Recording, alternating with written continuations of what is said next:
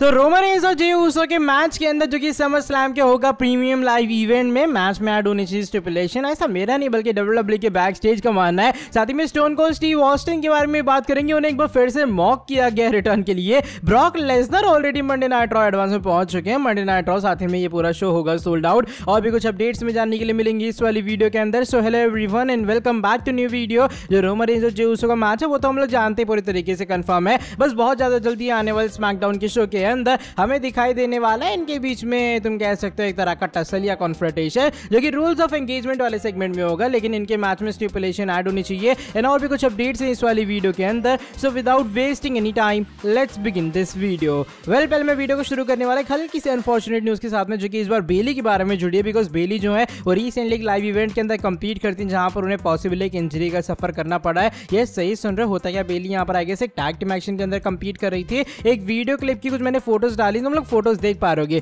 यहाँ पर होता क्या है, जो मेरे हिसाब से एक ट्रिपल थ्रेड मैच था sorry triple threat fatal four way don't know लेकिन जो भी है, यहाँ पर जो बेलियाँ सामने से भागते आ रही थी, और तुम सडनली देखोगे, जो आस्का है, वो उनके पैरों के ऊपर गिरती हैं, और जो बेली है बताया जा रहा है, इसी टाइम अपनी नी पकड़ के बैठ जाती हैं एंड ऑल सडन जो रेफरी है, वो क्रॉस का साइन भी करती हैं कि यहाँ पर इंजरी हो चुकी है बेली को। उसके बाद बताया जा रहा है फाइनली जो बेली उन्हें यहाँ से ले जाया जाता है बैक स्टेज वगैरह के ऊपर एंड इवन यहाँ पर फैंस काफ़ी वरी थे कि भैया, जब भी एक्स का साइन है तो मतलब ये समझ लो, कोई ना कोई सीरियस रियल इंजरी हुई है सामने वाले सुपरस्टार को। लेकिन उसके बाद एक फ़ैन ने वीडियो क्लिप भी शूट की है, जो कि बेली के बाहर के वेन्यू की है। यानी कि जब वो वेन्यू लीव कर रही थी तो वहाँ पर बेली किसी तरीके से अपने पैरों पे वॉक कर पा रही थी। उनके पास कोई क्रंचेस वगैरह नहीं थे। इवन जो बेली है, इसके बाद एक स्टोरी या फिर कह अपने ट्विटर अकाउंट के ऊपर पोस्ट शेयर करती हुई नज़र आई, जिसका स्क्रीन तुम लोग देख पा रहे उन्होंने वही अपने पैर की फ़ोटो डाली जिसपे आगे उन्होंने कुछ बाँध वगैरह रखा है। और लिखा I will be all right thanks every यानी कि मैं सही हो जाऊँगी, जितना भी तुम लोगों ने सपोर्ट दिखाया, उसके लिए थैंक यू तो कुछ इस तरीके से बेली का रेस्पॉन्स आया उनकी पूरी रिसेंटली इंजरी को लेकर।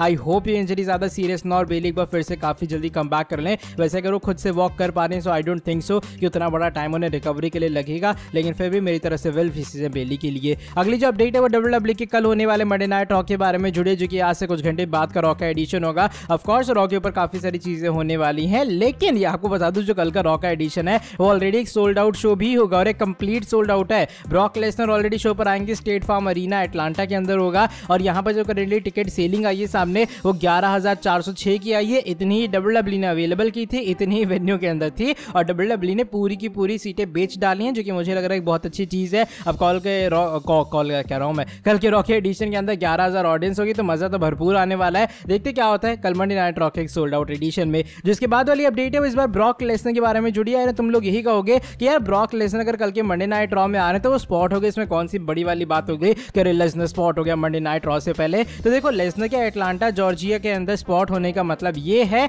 कि लेजनर एडवांस में पहुँचे मंडे नाइट रॉ के लिए। जिन लोगों को नहीं पता लेजनर यूजुअली करते हैं, वो अपने प्राइवेट जेट से या फिर एकदम लेट नाइट अपेयर होते हैं। मान लो शो शुरू होने वाला है, उससे एक दो घंटे पहले लेजनर यूजुअली अपेयर होते हैं, अपना जो पूरा सेगमेंट है करते हैं। और मोस्टली होता है कि वो चले ही जाते हैं वहाँ से। रियरली होता है कि वहाँ पर वो शो पर रुके, ऐसा करेंगे, वैसा करेंगे। लेकिन एडवांस में लेजनर का पहुँचे किसी जगह के ऊपर। बता जा रहा बहुत रेयर चीज़ होती है सो दैट्स वाई थोड़ा बड़ा कंसीडर किया जा रहा है। कि मंडे नाइट रॉ से कुछ घंटे पहले ही लेजनर वहाँ पहुँच गए, वरना तो एक दो घंटे पहले पहुँचते हैं। वैसे मज़ा आएगा जब कोडी रोड की चैलेंज का वो हमें रिस्पॉन्स देते हुए नज़र आएँगे। एंड आई थिंक एक और भसड़ कल मंडे नाइट रॉ में तो बचने ही वाली है। अब जब मंडे नाइट रॉ की हम लोग इतनी बात कर ही रहे हैं, बात करते हैं मंडे नाइट रॉ के पूरे प्रिव्यू के बारे में कि कल रॉ के एडिशन के अंदर अभी फ़िलहाल क्या कुछ अनाउंस हो चुका है। तो कल शो के ऊपर तुम्हें गंथर और रिडल का एक बार फिर से आमना सामना दिखाई देगा, लेकिन इस बार लुडविक आइसन गिवानी विंसी रिंग साइड से बैन होंगे। मैंने कहा ना कोडी और ब्रॉक का वो होगा तो गोडी ब्रॉक का वाली जो सीन है वो भी ऑलरेडी कंफर्म है। प्लस शो के ऊपर Kevin Owens Sami Zayn face करने वाले हैं चैंपियनशिप बाउंड के अंदर। जब वो फेस करेंगे डेमिन पीस के मेंबर्स का Dominik Mysterio and Damian Priest का, ये मैच भी कंफर्म है चैंपियनशिप के लिए।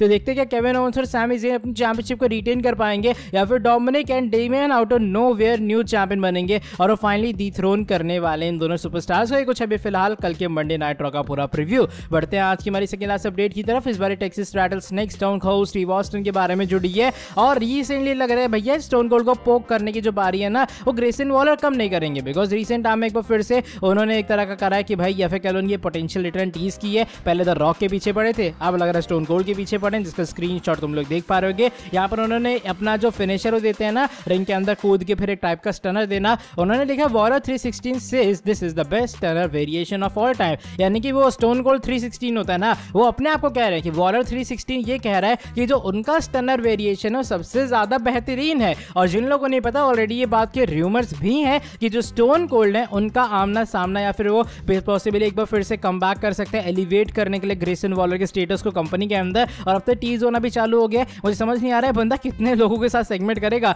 अभी सीना के साथ करके हटा है द रॉक को लगातार पोक किए जा रहा है। और स्टोन कोल्ड की बात रही तो स्टोन कोल्ड के साथ तो ऑलरेडी ये चीज़ र्यूमर्ड भी है। देखते बाकी क्या टेक्सिस राइडल स्नेक वापस आते हैं या फिर नहीं। अब चलो बढ़ते हैं आज की हमारी नेक्स्ट टेन फाइनल स्टोरी की तरफ़। फिर रोमन रेंज और जो के मैच के बारे में जुड़ी है। ऑफकोर्स इन दोनों का मैच तुम ऑफिशियली कंफर्म मान लो, आने वाले स्मैकडाउन के शो के अंदर। ये बात पूरे तरीके से अनाउंस भी होती हुई नज़र आएगी, लेकिन तुम्हें बता दो कि रिसेंट टाइम में होता है कि अपडेट है सामने, और अपडेट का मानना ये है कि बैक स्टेज की जो डब्ल्यू डब्ल्यू की क्रिएटिव टीम है, वो एक्चुअल में चाहते कि जो रोमन रेंज और जे उसो का biggest party of the summer of course summer slam के अंदर जो मैच होने वाला है, इसके अंदर कोई स्टिपुलेशन ऐड हो। हाँ करंटली आज कोई बड़ा नेम नहीं आया सामने, लेकिन maybe last man standing match हो सकता है। ऐसा हो सकता है भैया, Solo Sikoa Paul Heyman ring side से बैन हो जाए। यानी कि कोई ना कोई ऐसी चीज़ जो कि मैच को और इंटरेस्टिंग बना सकती है। आई थिंक इन दोनों का पहले भी क्लाश हो चुका है सो आई प्रेफर कि डब्ल्यू डब्ल्यू वाले इसके अंदर कोई ना कोई जो चीज़ है वो ज़रूर ऐड करे, ताकि जो चीज़ है वो और भी कह सकते हैं एक्साइटिंग हो सके। इमेजिन अगर ये हेलिना सेल मैच होता है, या फिर ये होता है कि भैया ओसोस बैन ओसोस कहना sorry Solo Sikoa ring side से बैन हो जाएँगे तो मुझे लग रहा है सिचुएशन और भी ज़्यादा इंटरेस्टिंग बन सकती है, और कंपनी जो है इस मैच का राउंड और अच्छी खासी हाई बिल्ड कर सकती है। बाकी लेट सी आने वाले टाइम में क्या होता है, इसको लेकर तुम्हारा क्या ओपिनियन है शेयर करना कॉमेंट सेक्शन के अंदर, कि तुम्हारे हिसाब से भी डब्ल्यू डब्ल्यू कंपनी को ये चीज़ करनी चाहिए, या फिर नहीं। कि स्टिपुलेशन ऐड हो बाकी तुम्हारा